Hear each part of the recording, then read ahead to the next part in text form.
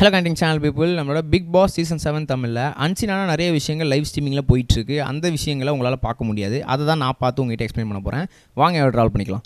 முதல்ல ஒரு விஷயமே என்ன அப்படின்னு பார்த்தீங்கன்னா நம்மளோட ஃபேவரட் கண்டஸ்டன்ஸ் லிஸ்ட் சொல்லுங்க அப்படின்னு சொல்லி கேட்டால் ஐஷுவோட பேர் கண்டிப்பாக இருக்கும். ஏன்னா வந்து நல்லா கேம் அப்சர்வ் பண்ணி சூப்பராக விளையாடிட்டு இருக்காங்க எந்த ஒரு இதுவுமே இல்லாமல் ஆனால் அப்படியாப்பட்ட ஐஷுவே நம்மளோட மாயா வந்து இன்ஃப்ளூயன்ஸ் பண்ணியிருக்காங்க அப்படின்னு சொல்லி விசித்ராமாவும் யுகேந்திரன் சாரும் வந்து பேசிகிட்டு இருக்காங்க. அவங்க என்ன பேசிகிட்டு இருக்காங்க அப்படின்னு பார்த்தா விசித்திரமா நம்மள ஐசு கிட்ட கேட்குறாங்க இந்த மாதிரி வந்து நான் மாயா கிட்ட பேசினேன். ஸ்ட்ரைக்கு யார் கண்டக்ட் பண்ணது யார் ஐடியா கொடுத்ததுன்னு? அவங்க கேட்குறாங்க இந்த மாதிரி வந்து ஐஷு தான் பண்ணா அப்படின்னு சொல்லி நீயா பண்ண? அப்படின்னு கேட்குறாங்க ஐஷு இல்லை இல்லை நான் பண்ணலை. அது வந்து சும்மா கேங்காக ப்ரூவ் பண்ணது.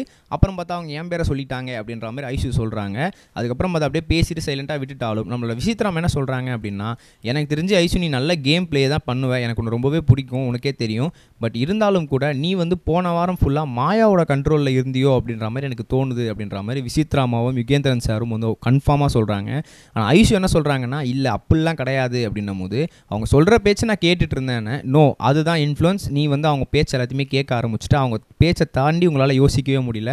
மாயா அந்த அளவுக்கு உங்கள் எல்லாரையுமே இன்ஃப்ளூயன்ஸ் பண்ணி அப்படியே அவங்களுக்கு தேவையான மாதிரி உங்களை ஆட வச்சுட்டு இருந்தாங்க அப்படின்ற மாதிரி நம்மளோட யுகேந்திரன் சாரும் நம்ம விசித்ராமும் சொல்கிறாங்க ஆனால் கண் ஆடியன்ஸ் எல்லாருக்குமே அப்படி தான் தோணுச்சு. ஏன்னா மா மாயா வந்து எல்லாரையும் இன்ஃப்ளூயன்ஸ் பண்ணி அவங்க பக்கம் தள்ளிக்கிறாங்களே தவிர யாரையுமே விளையாட விட மாட்டுறாங்க அப்படின்றது தான் உண்மையாக இருக்கும். உங்களுக்கு என்ன தோணுது அப்படின்ற மாதிரி கமெண்ட்ஸ் சொல்லுங்கள் நம்ம நெக்ஸ்ட் வீடியோ சமைக்கிறேன் கைஸ் இது வரைக்கும் கனெக்டிங் டிவிக்கு சப்ஸ்கிரைப் பண்ணனா மறக்காம சப்ஸ்கிரைப் பண்ணிக்கங்க.